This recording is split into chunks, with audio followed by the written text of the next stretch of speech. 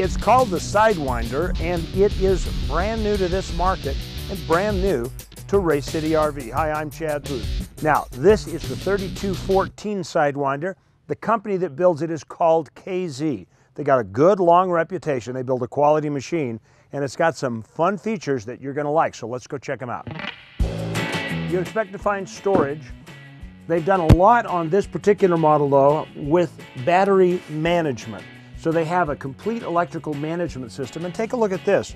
Your leveling jacks are on a control unit right out here where you can watch them. And it also has an auto function where you just push the button and the whole thing levels itself. Pretty cool.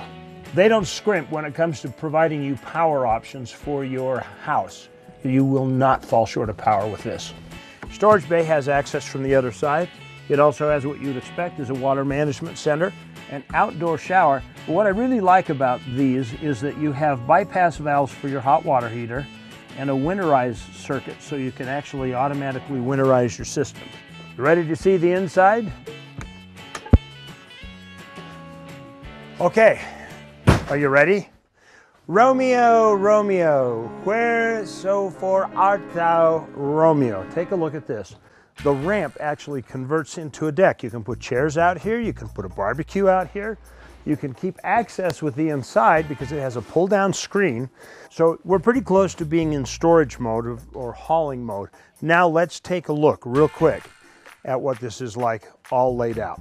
You drop the couch down, but you need more space. Well, here's how you get your sleeping space. One, two, three, four, and five.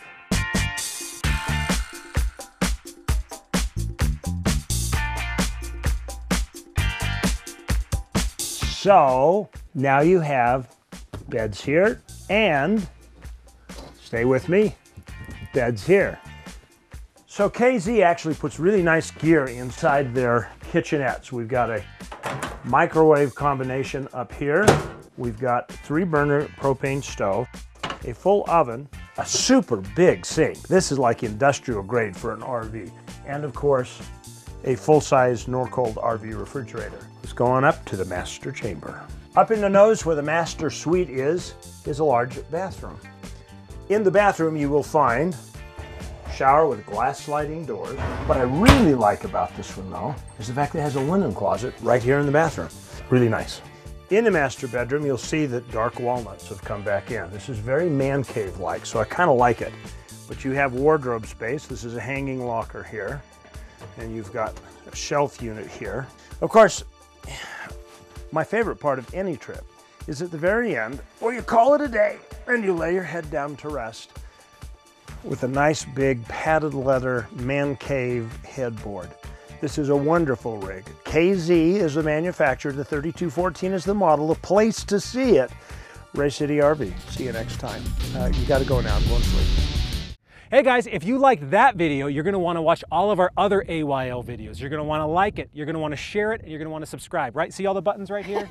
this is what you're gonna wanna do, click, right? Click, click. Click on them, because we have some really cool videos, all kinds of behind the scenes stuff, bloopers of Alicia crashing and stuff. Why are you gonna sell me out like that, Steven? So you wanna click all of these things and subscribe to our channel because At Your Leisure is awesome, and uh, we'll see you here for more videos.